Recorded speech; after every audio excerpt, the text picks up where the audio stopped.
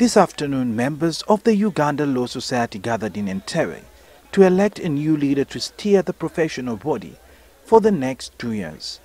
Today's election also saw the lawyers choose regional representatives to the Executive Council and a new vice president. Simon Peter Kinobe and Alice Namuli battled it out to replace Francis Gimara, who has been president since 2016. I believe that the unity you're seeing this time around is not only about the CEO, but it is about the entire membership growing and adapting to changes and knowing that rebranding involves having a democratic process. Some members voiced their views on the outgoing leadership and what they expect from the new leadership. You have to give it to the Gimara leadership. They have tried their level best uh, amidst all these challenges, against all odds. The outgoing and incoming members of the Law Society's Executive Council also spoke about their roles and participation. You have to be committed and dedicated to serve the lawyers. Not only the lawyers, but the vulnerable people. Not only the vulnerable people, still the entire community. And the world is out there looking at you. So we have a very unique mandate which calls on us to protect the public.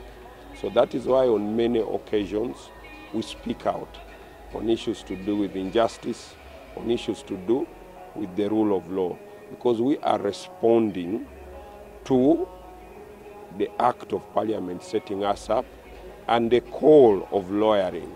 Simon Peter. Simon Peter.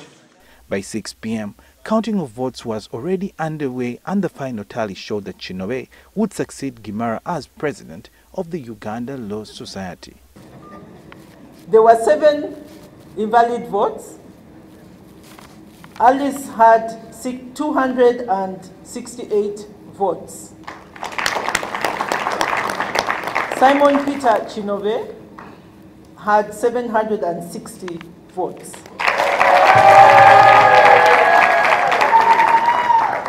So our president for this year, 2018-2019, is Simon Peter Kinobe.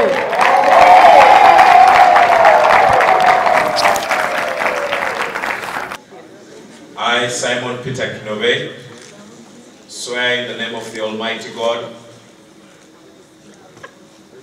that I will be faithful and bear true allegiance to the Uganda Law Society and that I will preserve, protect, and defend the laws of Uganda and the rule of law. Strength and power of fighting for the vulnerable.